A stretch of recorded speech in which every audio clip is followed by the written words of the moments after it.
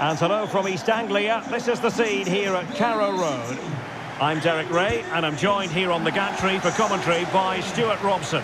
And we're on the cusp of bringing you live action from one of the most exciting leagues in Europe, the Championship. It's Norwich City, and they take on Birmingham City. Well, Derek, as is always the case, the team that dominates midfield would be the team that controls the flow of the game. And that, for me, is the area that's key today.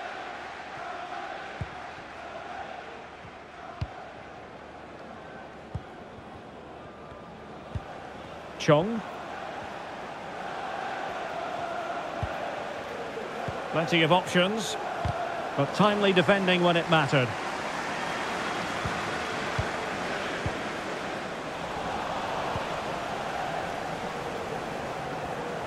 This looks more than decent.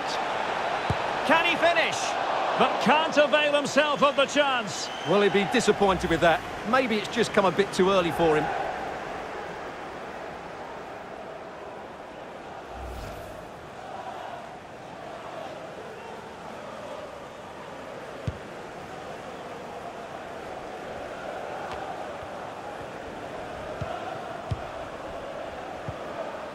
Pukki. Tremendously strong in the tackle. Well, the fans are certainly having their say. Just listen to them. They thought that was a penalty. Deeney. Still passing it around with authority. Well, I think a classic commentator's curse just then. Couldn't make the ideal pass. And for more on the injury, let's go down to our reporter, Geoff Shreeves. In that last challenge, he took a blow to his upper thigh. But at the moment, he's carrying on. Cheers, Jeff. Sanderson. That's very effective. Good high pressing. Deeney. It's with Juninho Bacuna. Moving the ball forward with purpose.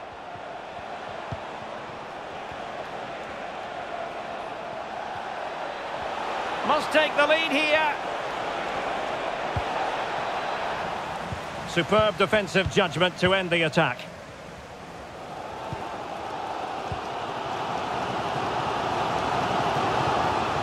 Well, they've given him too much space. Well, disappointing end to the move.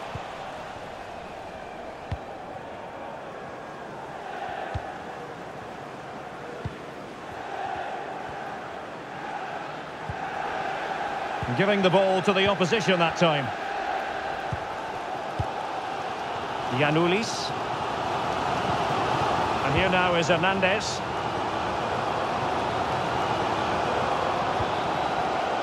Nunez. We're getting the ball forward. Surely! Oh, so near, off the post. Well, nothing untoward happened. And time is up as far as the first half is concerned here at Carrow Road.